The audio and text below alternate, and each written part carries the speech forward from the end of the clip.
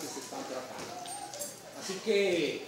si ustedes asisten y el público asiste, va a encontrar una zona arqueológica, las 40 casas totalmente renovadas,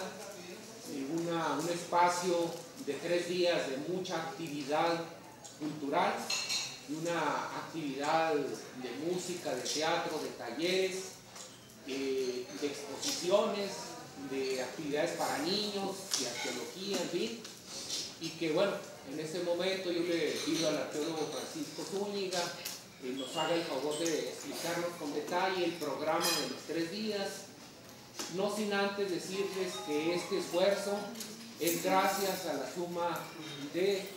talento, actividades, eh, recursos entre la Presidencia Municipal de Madera,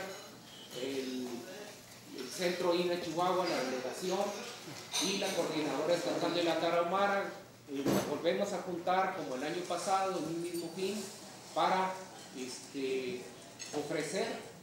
una opción más a los visitantes, a quienes están todavía deseosos de definir a dónde ir en la Semana Santa, pues decirles que en Madera, en las 40 casas, tenemos una segunda edición de un festival llamado Sol de Acantilado.